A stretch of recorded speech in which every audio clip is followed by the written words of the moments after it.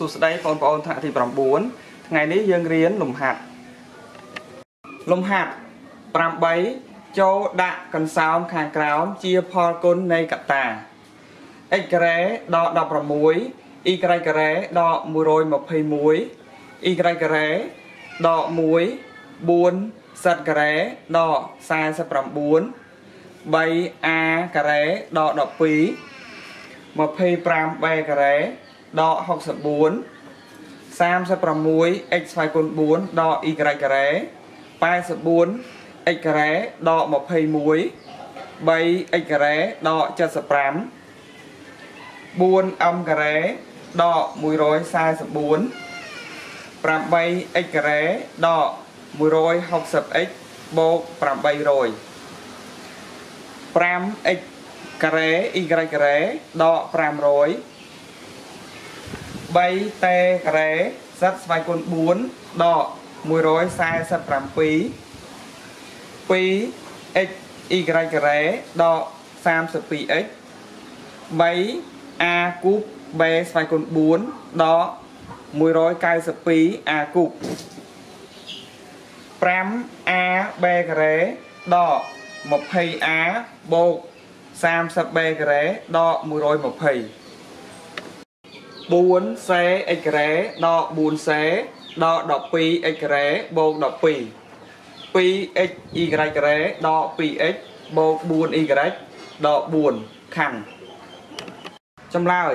លំហាត់របស់យើង គេឲ្យយើងធ្វើអីគេឲ្យយើងដាក់កន្សោមខាងក្រោមជាផលគុណនៃកតាឥ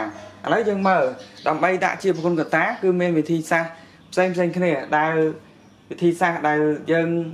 ត្រូវគិតដំបូងគេគឺអីគឺកន្សោមនឹងចូលរូបមន្តអត់ចូលរូបមន្តទាំង7ដែលយើងបានរៀនឬអត់ឥឡូវយើងមើលណាយើងមើល x ការ៉េដក16គេឲ្យយើងដាក់ជាប្រព័ន្ធកតាប៉ុណ្ណឹងបើយើងមើលមួយផ្លេតយើងគិតថាយើងមិនដឹងប្របែកមិនប៉ុន្តែយើងមើល16 16នេះគឺជាចំនួនអីជាចំនួនការ៉េប្រកបចំនួនការ៉េប្រកបមានតែចំនួនដែលអាចលើកជាការ៉េបានណាលើកជាការ៉េនៅចំនួនគុណអញ្ចឹង16យើងអាចសេថាស្មើប្រមាណការ៉េទៅគឺស្មើ4ការ៉េអញ្ចឹងបើស្មើ4ការ៉េគឺចូលរូបមន្តអីចូលរូបមន្ត a ការ៉េដក b ការ៉េអញ្ចឹងបើ a ការ៉េដក b ការ៉េស្មើស្មើ a បូក b កតា a ដកដក b អញ្ចឹងប៉ុណ្ណឹងគឺគ្រប់គ្រាន់សម្រាប់ដាក់ជាប្រគុណកតាបានហើយការដាក់ជាប្រគុណកតាគឺមានន័យថាយើងធ្វើឲ្យកន្សោមដែលជាផលបូកឬផលដកនៃឯកធាឬក៏ពហុធាហ្នឹងឲ្យទៅជាផលគុណនៃពហុធាឥឡូវយើងចាប់ដើម គណនេណាស្មើយើងមើល x ការ៉េយើងទុកនៅដដែលណា x ការ៉េដកដកប្រមាណអាដកប្រមាណ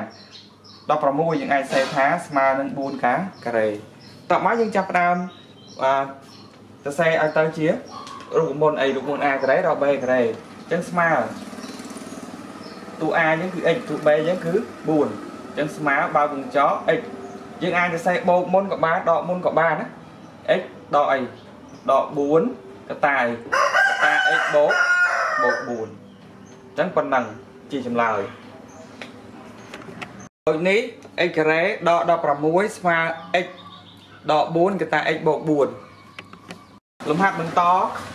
y ការ៉េដក121 121គឺជាចំនួនការ៉េប្រកបតែយើងអាចសរសេរទៅជាអីទៅជា10ទៅជា11ការ៉េអញ្ចឹងចូលរូបមន្តអីចូលរូបមន្ត a ការ៉េដក b ការ៉េដូចលំហាត់មុនដែរអញ្ចឹងឥឡូវស្មើ y ការ៉េដក11ការ៉េតួ a យើងគឺ x y ការ៉េតួ b យើងគឺ11អញ្ចឹង a ការ៉េដក b ការ៉េស្មើ a បូក b កតា a ដក b ស្មើ y បូក11កតា y ដក11 ដូចនេះ y ការ៉េដក121ស្មើ y បូក11កតា y ដក11លំហាត់បន្ត y ការ៉េដក1យើងមើល1 1គឺជាចំនួនមួយពិសេសណា1លើកជាស្វ័យគុណប្រមាណក៏នៅតែ1ដែរអញ្ចឹង1នេះយើងអាចសរសេរទៅជា1ការ៉េបានទេបានអញ្ចឹងស្មើ y ការ៉េដក1ការ៉េអញ្ចឹងចូលរូបមន្ត a ការ៉េដក b ការ៉េដូចមុនទេចូល តួ a យើងគឺ y តួ b យើងគឺ1អញ្ចឹងស្មើ y ដក1កតា y បូក1នេះ y ការ៉េដក1ស្មើ y ដក1កតា y បូក1លំហាត់បន្ទាប់4សិតការ៉េដក49យើងឃើញថាយើងមើល49នេះយើងអាចសរសេរទៅជា7ការ៉េបានហើយយើងមើល4សិតការ៉េអញ្ចឹងបើយើងសរសេរបើយើងគិតថា4គេសរសេរ4សិតការ៉េនេះគឺមានន័យថាសិតហ្នឹងលើកជាការ៉េប៉ុន្តែ4ហ្នឹងមិនមែនលើកជាការ៉េទេតើអីតើតាគេដាក់វងកញ្ចក់បានមានន័យថាទាំងអស់ហ្នឹងលើកជាការ៉េដូច្នេះគឺយើងត្រូវបំលែង4ឲ្យទៅជាអីឲ្យទៅជាការ៉េការ៉េនេះមួយចំនួនយើងដឹងថា4នេះយើងអាចសរសេរថាស្មើនឹង2ការ៉េបានទេបានអញ្ចឹងបើយើងសរសេរទៅជាអឺ ការ៉េ4នេះយើងអាចសរសេរថា2ការ៉េ2ការ៉េគុណនឹងអីគុណនឹងសត្វការការ៉េអញ្ចឹងយើងអាចសរសេរទៅជាអីសរសេរទៅជាបើវងចប់មក2គុណ2 z លើជាការ៉េបានដល់យើងយករូបមន្តអីរូបមន្ត a a សគុណ n គុណនឹង b សគុណ n ស្មើស្មើវងកញ្ចក់ a គុណនឹង b ស្មើគុណ n ឥឡូវយើងមើលណាយើងបំលែងណាយើងចាប់ដើមបំលែងយើងអាចសេថាស្មើបើវងកញ្ចក់មក2សិត បាត់វងកញ្ចក់លើកជាការ៉េដក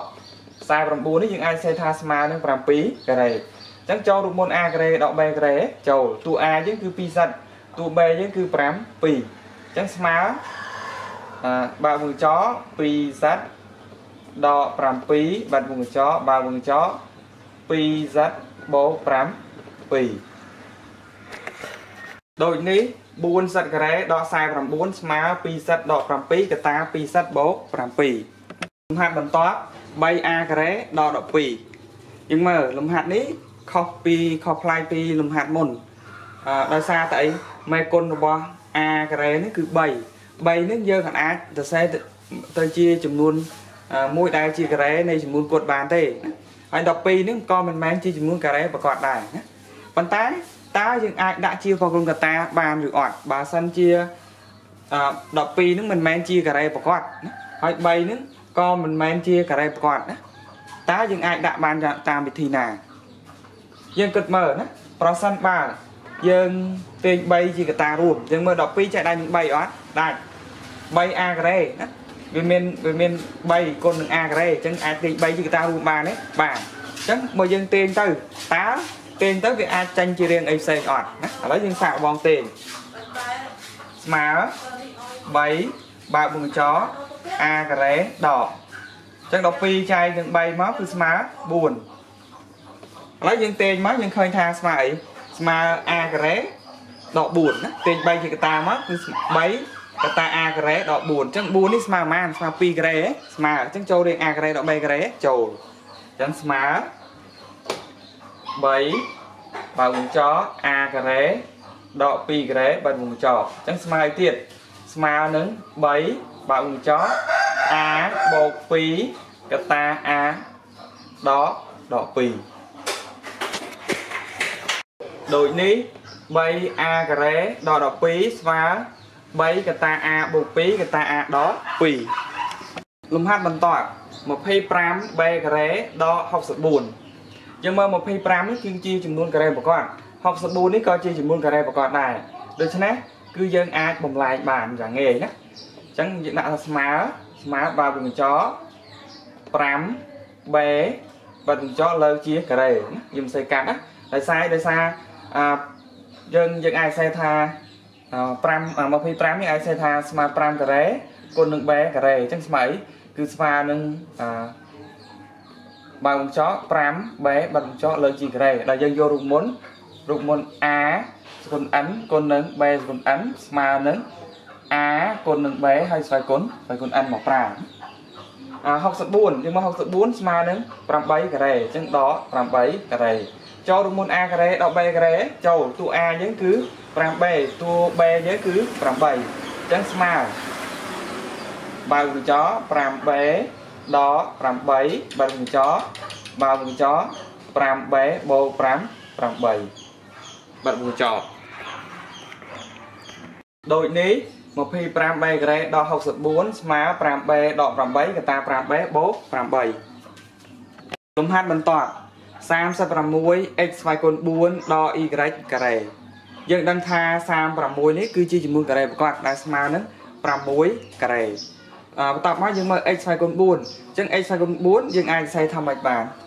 យើងអាចសេថាឥឡូវយើងមើល 36x គុណ4ណាយើងអាចសេថាស្មើនឹង6ការ៉េ6ការ៉េ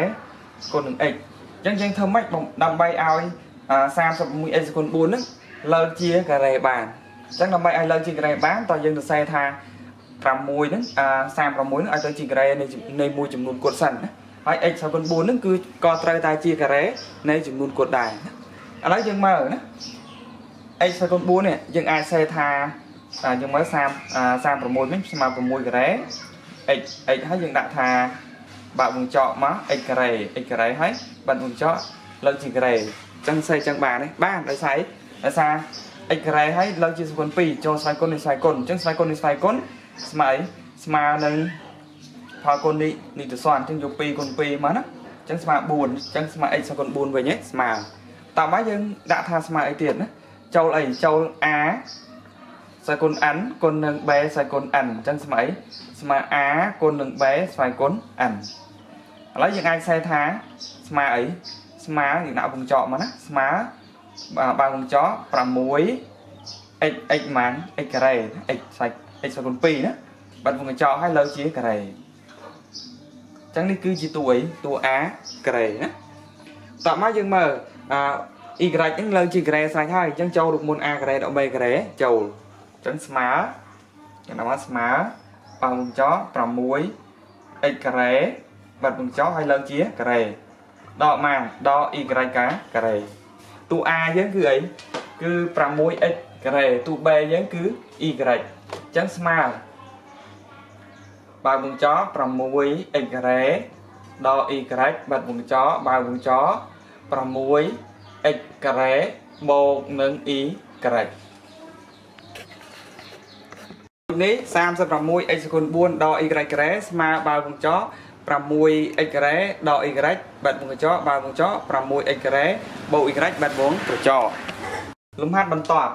84x ការ៉េដល់21ឥឡូវយើងមើល21នេះមិនមែនជាការ៉េប្រកបទេមិនមែនជាចំនួនការ៉េប្រកបទេ84នេះក៏មិនមែនជាចំនួនការ៉េប្រកបដែរ តើយើងដាក់ផលគុណកតាតាមវិធីណាអញ្ចឹងវិធីរបៀបដែលយើងធ្លាប់បានធ្វើលំហាត់មុនគឺអីគឺយើងអាចទាញមេគុណជាកតារួមបានណាបើទាញបានយើងទាញពេលយើងទាញទៅវាអាចនឹងដាក់ជាផលគុណកតារួមបានឥឡូវយើងមើល84 84នេះចែកដាច់នឹង21អត់ឥឡូវយើងសាកយក84ចែក21មកបាទណាចែកដាច់ណាគឺស្មើនឹង4អញ្ចឹងយក4មានន័យថា 4កូន21មកស្មើនឹង84នេះស្មើអញ្ចឹងយើងអាចទិញ21នឹងជាកតារួមបានទេបានអញ្ចឹងស្មើ21 21ហើយបើវងចោអញ្ចឹង84ចែក21ស្មើម៉ាស្មើ4 4 x ការ៉េដក21ទេងជាកតារួមហើយអញ្ចឹងអស់ហើយអញ្ចឹងនៅសល់ម៉ានៅសល់1ណាមិនអស់ហើយសល់0ទេណាចឹងសល់1តោះមកយើងមើល 4x ការ៉េដក1នេះយើងអាចសរសេរទៅជារាង a ការ៉េដក b ការ៉េបានទេបានអញ្ចឹងស្មើ21 21ហើយដាក់អឺដង្គៀបមកហើយបើវងចកណាបើវងចក 2x ណាបាត់វងចកលើកជាការ៉េណាអញ្ចឹងតួ a យើងគឺ 2x តួ b យើងគឺ1 1នេះយើងអាចសេថា1ការ៉េបានទេបានអញ្ចឹងស្មើអីស្មើ a ការ៉េដក b ការ៉េស្មើ a ដក b ក៏ថា a បូកបូក b ណាចឹងស្មើ 21ទុកដដែលណាបើកញ្ចក់មក 2x បូក1កតា 2x ដក1នេះ 84x ការ៉េដក21ស្មើ21កតា 2x បូក1កតា 2x ដក1លំហាត់បន្ទាប់ 3x ការ៉េដក75ចឹងស្តៀងនឹងលំហាត់មុនដែរគឺយើងត្រូវតេងមេគុណតេងចំនួនជា កតាហើយបានយើងអាចដាក់ជាកតារួមបានយើងមើល75ចែកដាក់នឹង3ហ៎ដាច់ស្មើនឹង25អញ្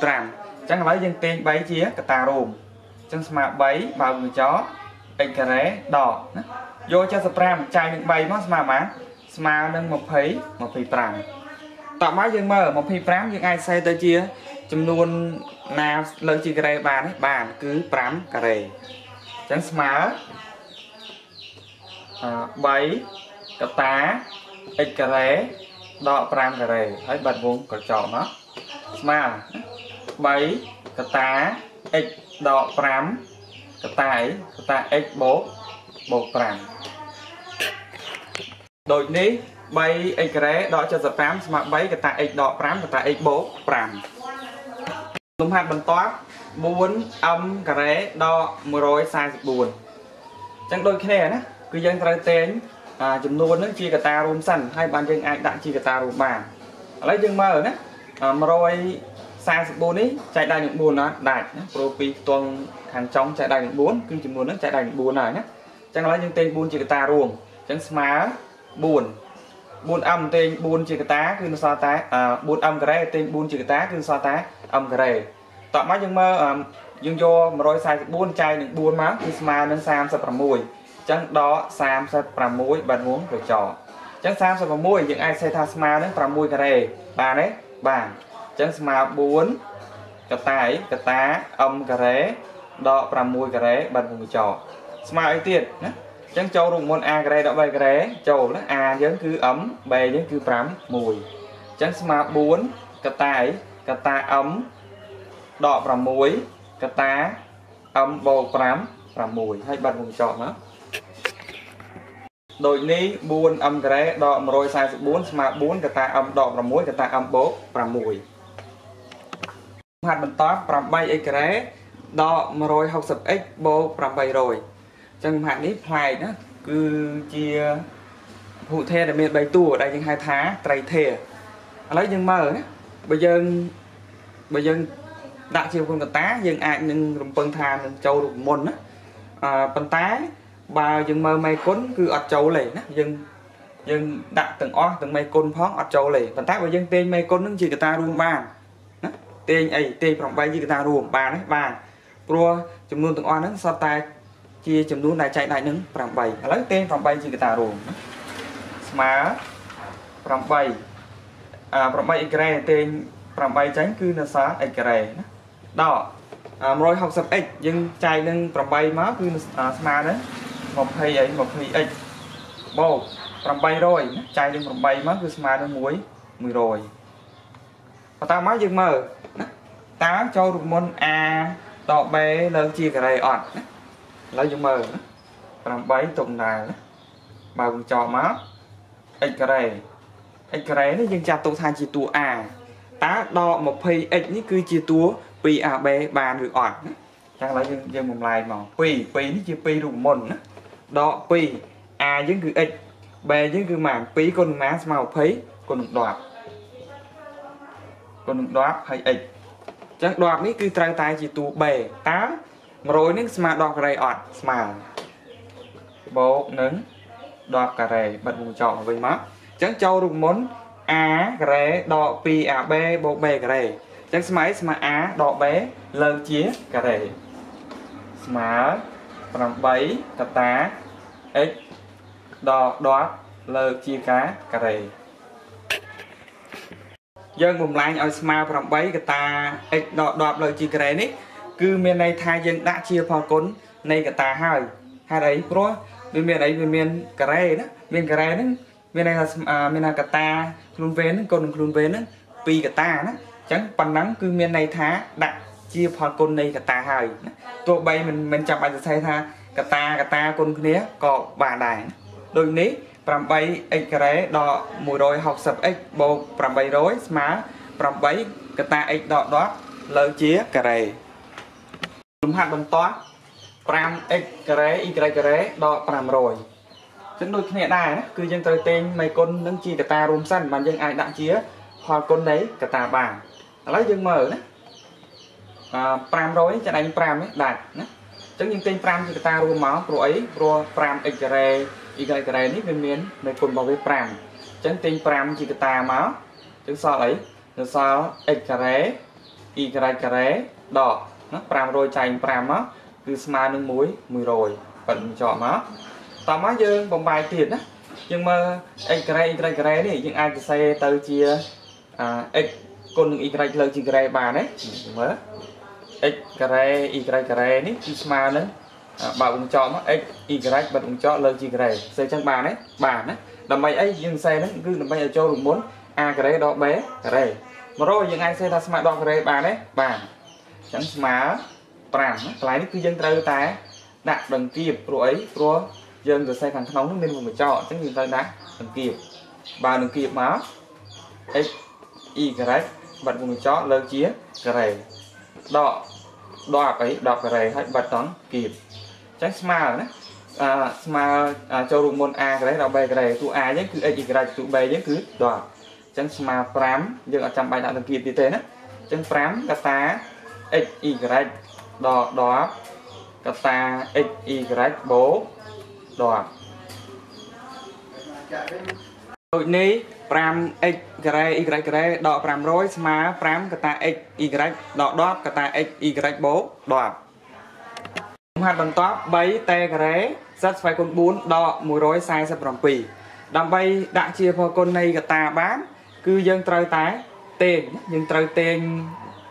មេគុណណាតេង3ជាកតារួមឥឡូវយើងតេង3ណា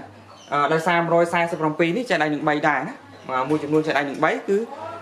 កាលណាផលបូកលេខក្នុងខ្ទង់របស់វាចែកដល់3យើងបូកជួយគ្នាមក1បូក4បូកនឹង7មកគឺស្មើនឹង12អញ្ចឹងតែដល់3ដាច់ណាហើយយើងទាញ3ជាកតារួមស្មើ3កតាតេការ៉េ z ស្វ័យគុណ4ដកណា147ចែកនឹង3មកគឺស្មើនឹង45 4ប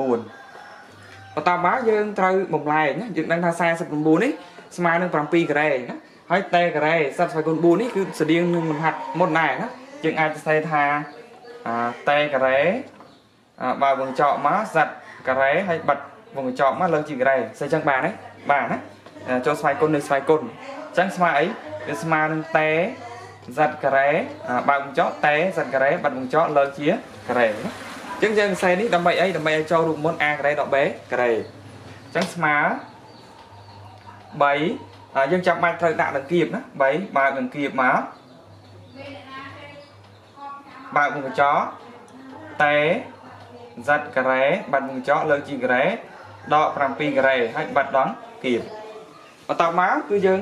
អាប្លេតវាមកអឺមិនប្លេតនេះគឺទៅសេឲ្យទៅជារូបមន្ត A ការ៉េដល់ B ការ៉េណាគឺស្មើ A ដល់ B កតា A បូក B ស្មើ3 3កតាយើងមិនបាច់ដាក់លំភាពទៀតទេណា3បើយើងចកមកតេ z ការ៉េដក7បាត់វងកញ្ចក់បើវងកញ្ចក់តេ z ការ៉េបូក5 7បាត់វងកញ្ចក់ដូចនេះ3តេការ៉េសត្វសគុណ4ដក147ស្មើ3កតាតេសត្វការ៉េដក7កតាតេសត្វការ៉េបូក7ហាត់បន្ទាប់ 2x y ការ៉េដក 32x យើងឃើញថា ឯកធាតុទាំងពីរនេះគឺមាន x ដូចគ្នាអញ្ចឹងយើងអាចទាញ x ជាកតារួមបានទេបានហើយ32ចែកដៃនឹងចែកដៃនឹង2ឯងដាច់ស្មើនឹង16អញ្ចឹងយើងអាចទាញ 2x ជាកតារួមបានទេបានស្មើ 2x បើកមុខកញ្ចក់មកគឺសល់អីសល់ y ការ៉េណាព្រោះ 2x y ការ៉េនេះយើងទាញ 2x ចាញ់ហើយអញ្ចឹងសល់ y ការ៉េដកដកម៉ាយើងមើល 32ចែកនឹង2មកគឺស្មើនឹង16អញ្ចឹងសល់16អស់ x ហើយព្រោះ x យើងទាញ30ទាញ 2x ជាតារួមអញ្ចឹងយើងឃើញថា y ការ៉េណាដក16នេះយើងអាចដាក់ជាប្រព័ន្ធកតារួមបានទៀតដែលយើងយកដែលយើងអាចយករូបមន្ត a ការ៉េដក b ការ៉េមកប្រើបានអញ្ចឹងស្មើ 2x បើកបញ្ចក់មក y ការ៉េដក4ការ៉េបន្តបញ្ចក់ណាអញ្ចឹងចូល a ការ៉េដក b ការ៉េចូលណាចូលរូបមន្ត អញ្ចឹងស្មើ 2x កតា y ដក4កតា y បូក4ដូចនេះ 2x y ការ៉េដក 32x ស្មើ 2x កតា y ដក4កតា y បូក4លំហាត់បន្ទាប់ 3a គូប b សកុន4ដក 192a គូបអឺយើងមើល a a គូបដូចគ្នាណានៅក្នុងឯកធាឯកធាទាំងពីរហ្នឹង គឺមាន a គូបដូចគ្នាហើយ192ជាចំនួនដែរចែកដោយនឹង3ណាព្រោះផលបូកលេខក្នុងខ្ទង់របស់វាចែកដោយនឹង3អញ្ចឹង1បូកនឹង9បូកនឹង2មក12 12ចែកដោយនឹង3អញ្ចឹងចំនួនហ្នឹងចែកដោយនឹង3ដូច្នេះយើងអាចទាញ 3a គូបជាកតារួមបានអញ្ចឹងទាញ 3a គូបទាញចេញ 3a គូប b សាយគុណ4យើងទាញ 3a គូបចេញគឺសល់អី សល់ b ស្វ័យគុណ4ដកដកម៉ានយើងយក192ចែក3មកគឺស្មើនឹង64ហើយបាត់វងក្រចកតបមកយើងមើល64បើយើងសរសេរទៅជាការ៉េនេះមួយចំនួន គឺយើងអាចសរសេរថាស្មើនឹង8ការ៉េអញ្ចឹងចូលរូបមុន a ការ៉េដល់ b ការ៉េប៉ុន្តែយើងមើល b b ហ្នឹងគឺ b ស្វ័យគុណប៉ុន្មានស្វ័យគុណ4 អញ្ចឹងយើងធ្វើម៉េចបំលែងឲ្យ b ហ្នឹងទៅជាស្វ័យគុណ2មាននិតិសន្នរបស់វា2យើងអាចសរសេរថា b ស្វ័យគុណ4ហ្នឹងយើងអាចសរសេរថាបើវងចកមក b ការ៉េហើយបើវងចកលើកជាការ៉េស្អីចឹងបានទេបាទអាសរសេរទៅជាទម្រង់ស្វ័យគុណនៃស្វ័យគុណបែស្វ័យគុណ2ហើយស្វ័យគុណ2គុណមកវិញមកណាស្វ័យគុណនេះស្វ័យគុណគុណគ្នាមក2គុណ2 4ចឹងស្មើដើមស្មើឥឡូវយើងសែមឲ្យចូលរៀនសិនណាស្មើ 3a គូបបើកនឹងគៀបបើកមុខកញ្ចក់ b ការ៉េបើកមុខកញ្ចក់លើកជាការ៉េដក8ការ៉េបិទមុខកញ្ចក់អើបិទទាំងគៀបហើយបានស្មើស្មើអឺយើងមើល b ការ៉េហើយលើកជាការ៉េដក8ការ៉េចូលរូបមន្ត a ការ៉េដល់ b ការ៉េតួ a យើងគឺ b ការ៉េតួ b យើងគឺ8អញ្ចឹងស្មើ 3a គូបកតា b ការ៉េដក8កតា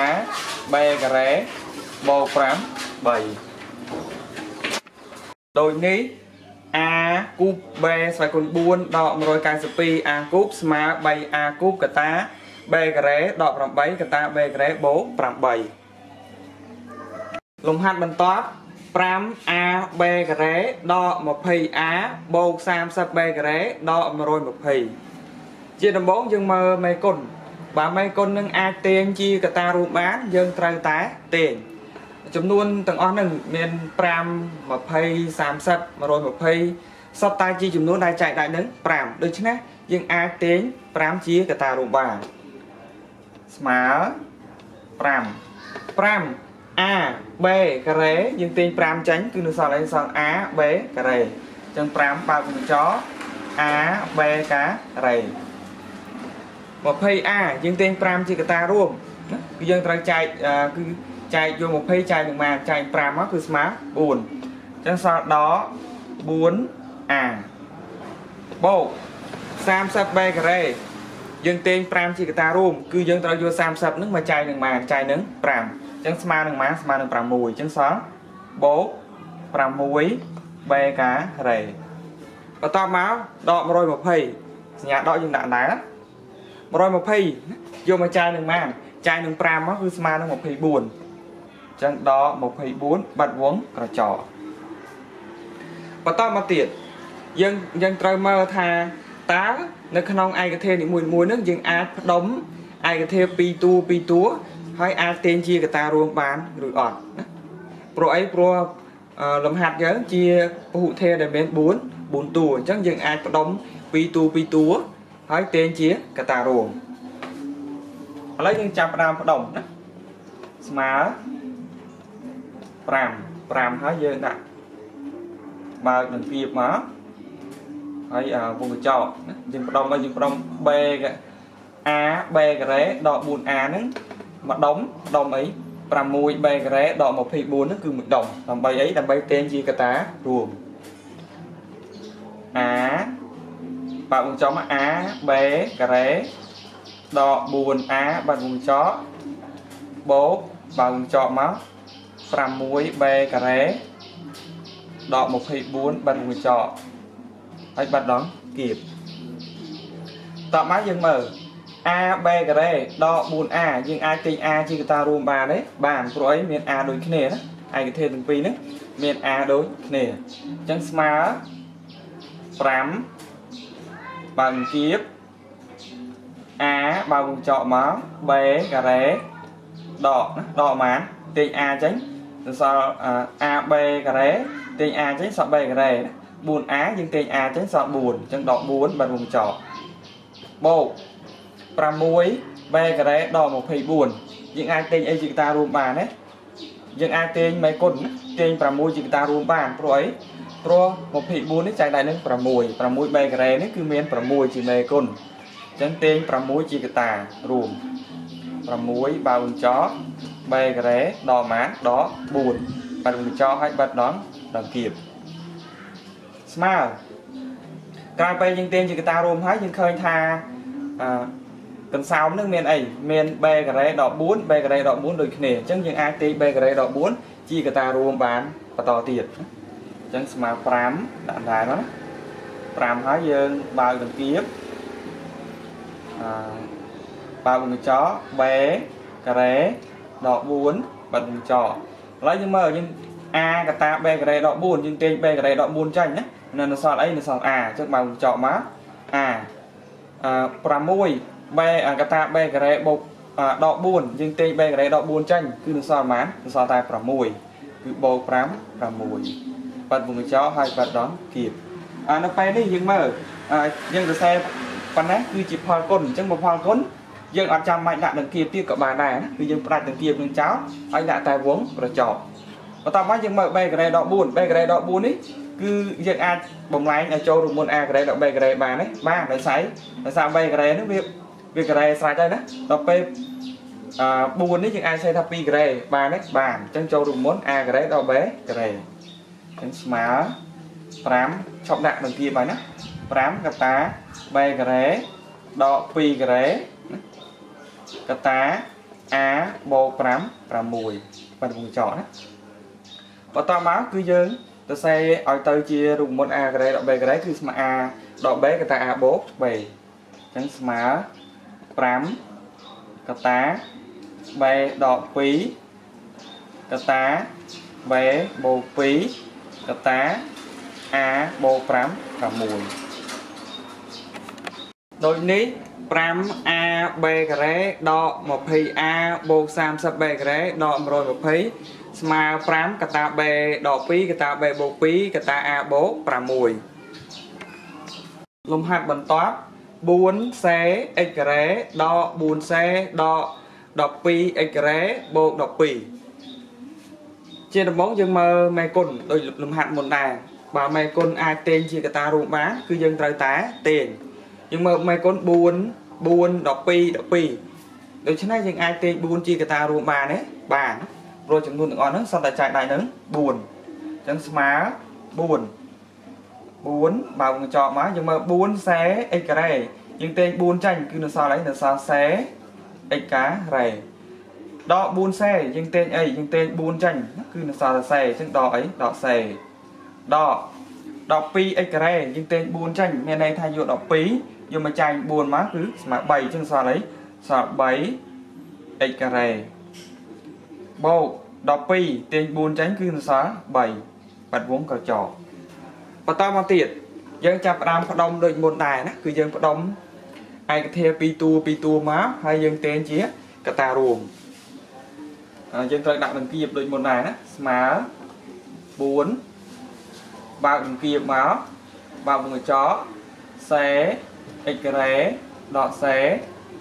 បាត់វងកញ្ចក់ដកយើងប្រយ័ត្នណាកន្លែងនេះណាតែនេះយើងទាញអីបើយើងទាញសញ្ញាដកជាកតាគឺយើងដាក់វងកញ្ចក់អញ្ចឹងក្នុងវងកញ្ចក់ហ្នឹងគឺត្រូវបដូរសញ្ញាណាឥឡូវយើងមើល 3x ការ៉េហ្នឹងគឺយើងដាក់ 3x ការ៉េដែរណាព្រោះយើងទាញដកហ្នឹងជាកតាដកឲ្យវងកញ្ចក់ តមកទៀតកន្លែងនេះណាកន្លែងបូក3ហ្នឹងយើងអាចដាក់បូក3វិញទេយើងដាក់អីយើងដាក់ដក3ព្រោះអីព្រោះសញ្ញាដកនេះគឺគុណគុណនឹងដកទៅវិញណាសញ្ញាដកគុណបញ្ចូលវិញអញ្ចឹងត្រូវចាញ់អីត្រូវចាញ់បូកវិញបើយើងដាក់បូកដកនឹងយកទៅគុណនឹងអីគុណនឹងគុណនឹង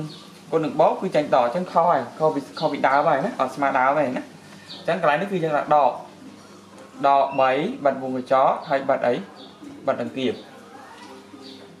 បន្តមកយើងចាប់ផ្ដើមទាញទាញជាកតារួមនៅក្នុងអ្វីដែលយើងបានផ្ដុំនៅក្នុងឯកធាតុដែលយើងបានផ្ដុំអញ្ចឹងស្មើស្មើ4យើងដាក់ដង្កៀបបណ្ដាលមកហើយយើងមើលសេ x ការ៉េតកសេទាញសេជាកតារួមចេញខ្សែចាញ់គឺនៅសល់ x ការ៉េដកដក1ចាំឡងទៀតណាទាញខ្សែចាញ់ x ការ៉េ x អាខ្សែ x ការ៉េនេះគឺនៅសល់ x ការ៉េណាខ្សែនេះគឺទាញចាញ់មិនមែនអស់សល់0ទេណាគឺសល់1ណាព្រោះបើយើងដាក់1យើងគុណទៅអត់ស្មើដើមទេណាដកដកអីណា 3x ការ៉េដក3យើងអាចទាញអីជាកតារួមបានគឺយើងទាញ3ណាទាញ3ចាញ់គឺនៅសល់អីសល់ x ការ៉េដកដក1បាត់វងកញ្ចក់មកហើយបាត់ដងគៀបបន្តមកទៀតយើងឃើញថាមានអីមាន x ការ៉េដក1 ដូចគ្នាណានៅសងខាងសញ្ញាដកហ្នឹងគឺមាន